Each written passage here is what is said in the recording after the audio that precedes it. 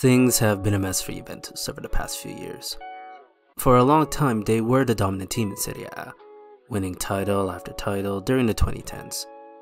That dominance didn't translate into European success, although making two Champions League finals in 2015 and 2017 isn't anything to sneeze at. This desire by Juventus to finally win their first Champions League since 1996 led to a lot of financial risk taking, in particular with the signings of Gonzalo Higuain and Cristiano Ronaldo. Did this gamble work?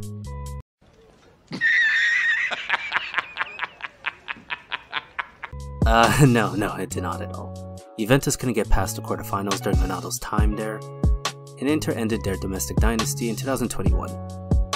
The financial doping the club engaged in finally caught up with them, and now they're having to pick up the pieces from a much weaker position. Despite the chaos, Juve have accumulated an impressive young core of talent who could help usher in a new era. Fabio Miretti has already shown moments of brilliance for the first team, Luis Hasa was named player of the tournament in the European Under-19 Championship, and Kenan Yildiz is a versatile attacker with tons of potential. Another intriguing prospect is Matías Soulé, who's been a breakout star this season on loan. He's generating plenty of goals and fun highlights, which has gotten Juve fans very excited about his future. The purpose of this video will be to analyze the type of player he's shown to be, and how impactful his skill set has been. So dribbling is where I want to start off with, because it's a needed skill for high-end attackers. Star level forwards can create space and time for themselves off the dribble, especially in the final third where it's more congested. Getting past your marker high up the pitch is very valuable, especially in today's game where teams are more compact out of possession. At least on the surface, the data is on Soulé's side.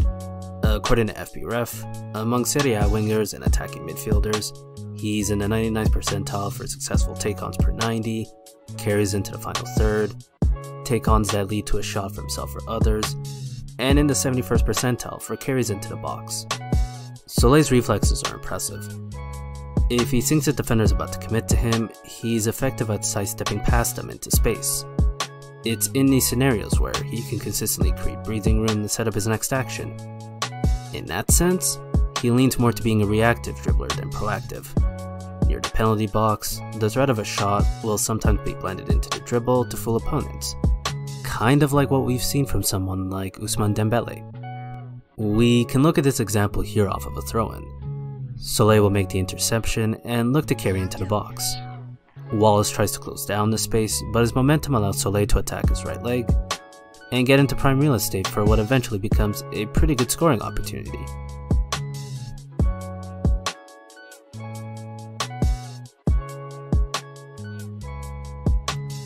You don't come away from watching Soulé and think he uses elite speed and strength to bypass defenders. Guys like him will use different maneuvers to gain an advantage. It could be letting the ball roll past him to generate that extra bit of momentum, changing the tempo of the dribble, or dummies and misdirections. In deeper areas, this is combined with constant scanning to make sure he's able to maneuver out of possible trouble. So far, it's worked for Soulé this season. Now we're on to passing and playmaking.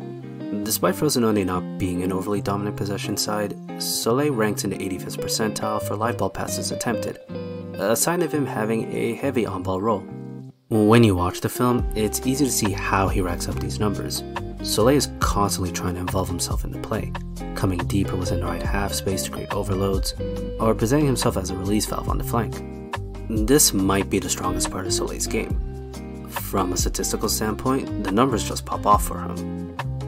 Whether it be expected assists, progressive passes, key passes, passes into the box, you name it, he more than holds his own. What's impressive when watching the film is the weighting of the passes.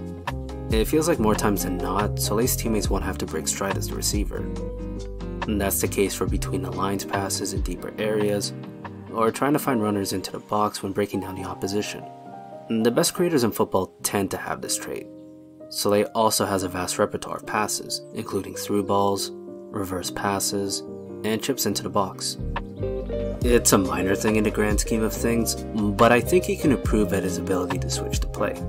Compared to the other types of passes that he does, the weighting is more erratic in these situations.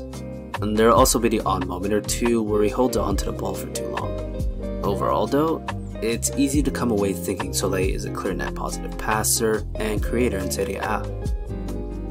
Soulé's off-ball movement is interesting. We've made mention of his tendencies to drop deeper to help connect play, and that could involve him dragging his marker out of position for his teammate to exploit further up the pitch.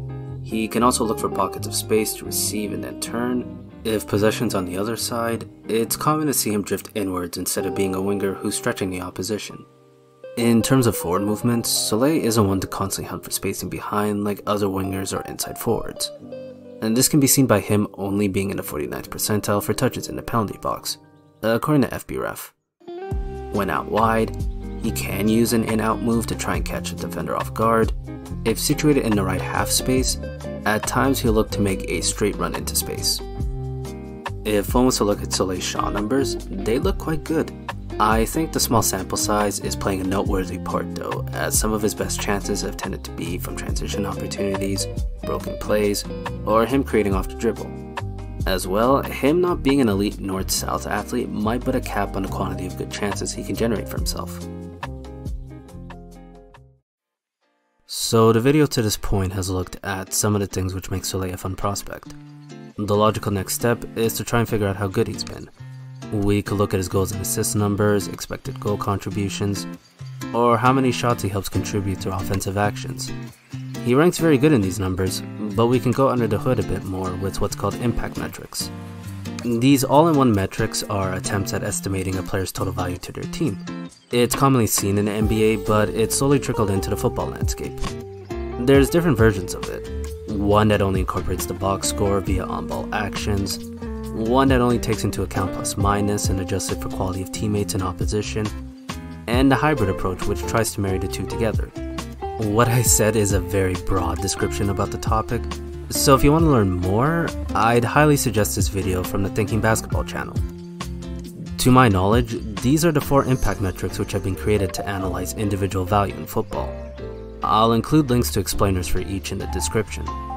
As you can see, Soulé holds his own in all of these metrics, especially in box score only ones, which give even more credence to the idea that he's been one of the standout performers in Serie A so far.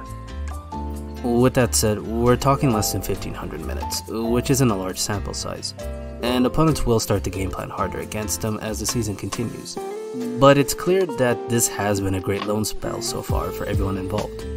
I'm not big on player comparisons, but a decent one for Soulé might be Paulo Dybala. Dybala is an inside forward who's comfortable in initiating combinations during different phases of play, has high level touch, and has regularly outperformed expected goal models over the years. Although his peak was a couple levels below the very best in the sport, he's been a quality player for nearly a decade and would represent a good outcome for Soulé's career. There's been a bit of speculation that Premier League clubs are interested in signing Soulé, possibly in the January window. I'm not sure how well his skill set would translate to English football. The vision and overall passing would help in unlocking deeper blocks, and his decision making during transitions is quite good. But it's fair to wonder whether his dribbling style out wide would work in England like it has in Serie A. Perhaps you can move Soulé to a deeper position or play him as a number 10 to mitigate some athletic concerns, but there's less time and space between the lines in the Premier League these days. You'd be banking on his back to goal play, spatial awareness, and ability to turn away from pressure. Personally, I think he might be better off playing as a free 8 rather than a winger, but it's not a guarantee that it would work either. Pushing those translatability concerns to the side, there's still been a lot to like about Soulé's season so far. It'll be interesting to see how he progresses if he doesn't move abroad, and whether his production continues at this level. But for now, Matías Soulé has shown to be a very fun prospect in Serie A. Thank you for watching. If you enjoyed the video, please like, share, subscribe, all that good stuff. Here's a previous video I did on Brentford set pieces, if you want to see me get in the weeds for a niche topic. I hope you all have a good holiday season, and I'll see you when I see you.